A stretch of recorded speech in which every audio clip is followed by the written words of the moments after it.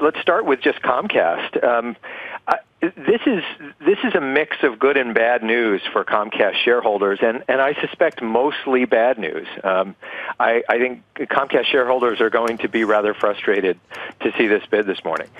Because well, the good news is there there is some reciprocal distribution synergy, right? You you can uh, distribute NBC programming in Europe. You can distribute Sky programming in the U.S. Not entirely clear why you couldn't do that through arm's length transactions, but there is some synergy there.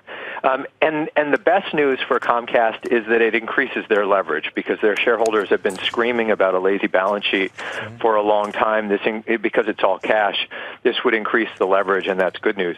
The bad news is they're going to have to twist themselves into knots to try to explain why satellite TV distribution in Europe is not going to be just as obsolete as it already is in the U.S. and um, and that they aren't just going down the same path that AT&T went down with DirecTV, albeit um, perhaps with some delay.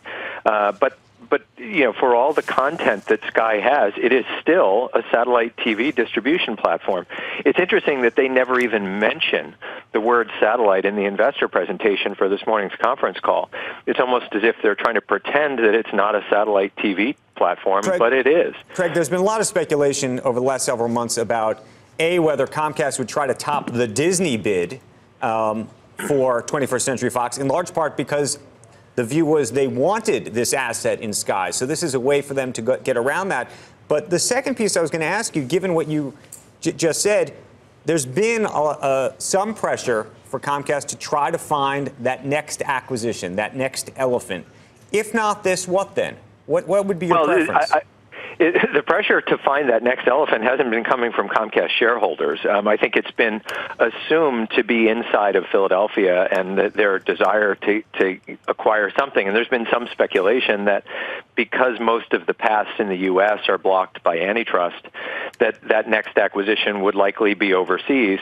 Um, and there aren't a lot of distribution assets. So to some extent, this is, and let's take the analogy of AT&T for DirecTV again, it's sort of buying what you're allowed to buy rather than what you necessarily need, um, and that's always a problematic place to start uh, an M&A process. Um, there's been some talk about that they might try to get involved in Liberty Global, um, although uh, would you prefer that? Those are cable assets as opposed to satellite uh, assets. Well, there you have an issue of valuation, and you also have the question of, of Vodafone, so you have another interested party there. Um, so, you know, but but the the pressure that you describe is entirely self-imposed by Comcast. I don't think their shareholders are saying, "Gee, Comcast needs to do something to get bigger." Craig, let me ask you a separate question. Assuming Comcast were to be successful, and, and we don't know that yet, and assuming regulators were to pass a or allow a transaction like this to take place in the UK, the effectively 40% that 21st Century Fox slash Disney would own, do you think that they would partner and effectively continue to own that piece, or do you think that they would be inclined to sell that piece to Comcast? You know, it's a it's a great question, Andrew, and it's not entirely clear. And by the way, this this bid from Comcast doesn't take off the table the idea that they might still try to do a topping offer for the Fox assets.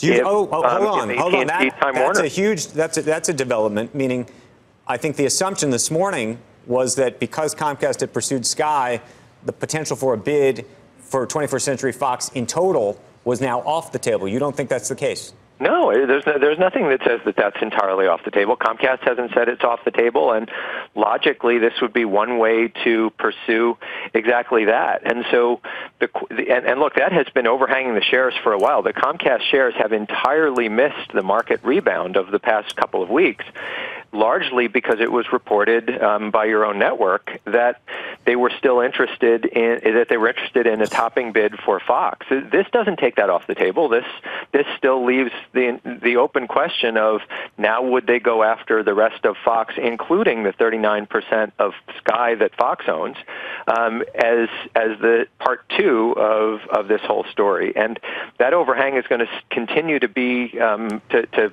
to overhang the shares for the foreseeable future until we hear about AT&T Time Warner. Hey there, thanks for checking out CNBC on YouTube. Be sure to subscribe to stay up to date on all of the day's biggest stories. You can also click on any of the videos around me to watch the latest from CNBC. Thanks for watching.